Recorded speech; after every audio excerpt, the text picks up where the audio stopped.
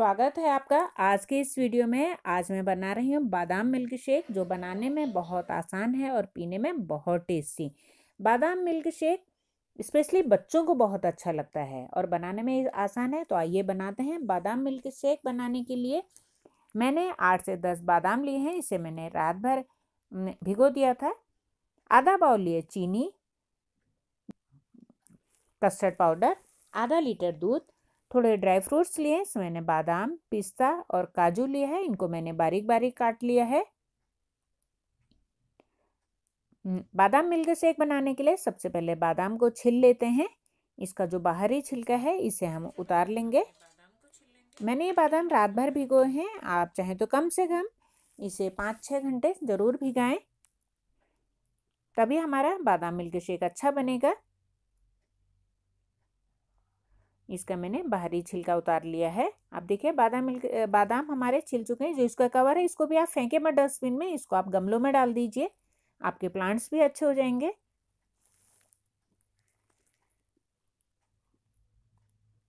अब बादाम को मिक्सी में डालकर इसका दरदरा पेस्ट बना लेंगे। एक एक कढ़ाई मैंने गैस पे रख ली है, इसमें डाल देंगे दूध। दूध हमने नॉर्मली जो घर पे दूध आता है वही यूज़ किया है। एक से दो चम्मच हम बाउल में डालते हैं। कस्टर्ड पाउडर का इसका घोल बना लेंगे।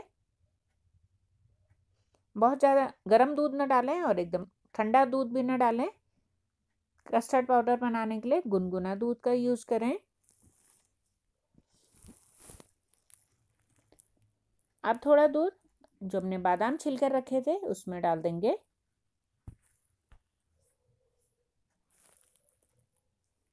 दूध और बादाम को डालकर, दूध और बादाम को मिक्सी में डालकर इसका दरदरा पेस्ट बनाना है। एकदम बारीक नहीं बनाना है, थोड़ा इसको मोटा दरदरा रखेंगे। अब हमारा दूध भी गर्म होने लगा है और इसमें मिला देंगे कस्टर्ड पाउडर का घोल।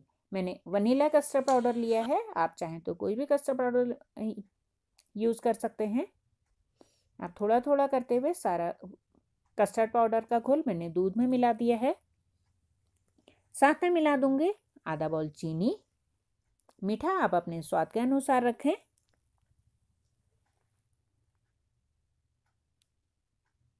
अब इन सब चीज़ों को अच्छे से पकने देंगे, क्योंकि जो कस्टर्ड पाउडर है, इसको अच्छे से पकाना बहुत ज़रूरी है।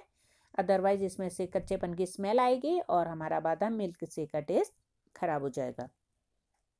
अब जो मैंने बादाम पीस के रखे थे दरदरे, वो भी इसमें मिला दिए हैं। और फिर से एक बार इसको अच्छे से अच्छे से पकने देंगे। अब यहाँ पे मिला लेते हैं ड्राई फ्रूट्स। अभी मैंने आधे ड्राई फ्रूट्स रखे, इसमें डाले हैं और आधे ड्राई फ्रूट्स ऊपर से हम गार्निश के लिए रखेंगे।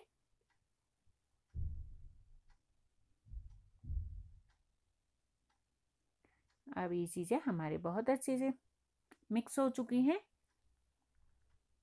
मैंने मीठा टेस्ट किया तो मुझे थोड़ा मीठा कम लग रहा है तो इसमें दो चम्मच चीनी मैंने और मिला दी है। क्योंकि ठंडी चीज़ें जो फ्रिज में रखी होती हैं, जैसे आइसक्रीम है और ये बादाम मिल्क शेक है, ये ठंडा ठंडा और मीठा मीठा ज़्यादा स्वादिष्ट लगता है। अब चीनी मैंने बाद में मिलाई है तो इसे अच्छे से मेल्ट होने दूँगी।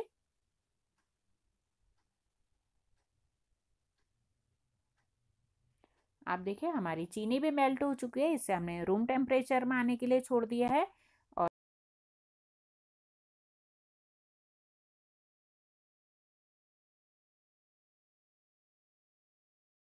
और हमारा बादाम मिल्क शेक जो है ये रूम टेम्परेचर में आ चुका है।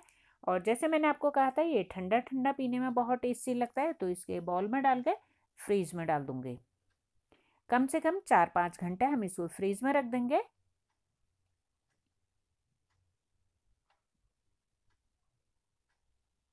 मैंने ये सारा बादाम मिल्क शेक बॉल में डाल लिया है, इसे मैं चार पाँच घंटे के लिए फ्रीज में रख दूँगी।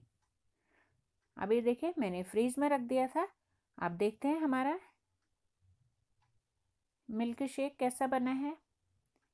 कंसिस्टेंसी देखिए, बहुत बढ़िया बनी है, बहुत ज़्यादा गाढ़ा भी नहीं और बहुत ज़्यादा पतला भी नहीं। तो आइए सर्व करते हैं। आपने बादाम मिल्क से कई बार बनाया होगा, इस बार मेरी स्टाइल से बनाकर देखिए। आपका बादाम मिल्क से कैसा बना प्लीज़ मुझे कमेंट बॉक्स में लिखकर ज़रूर बताएँ। आपको मेरी वीडियो अच्छी लगी तो प्लीज़ इसे लाइक और शेयर कर दीजिए और अभी तक आपने मेरा चैनल सब्सक्राइब नहीं किया है तो इसे सब्सक्राइब कर दीजिए।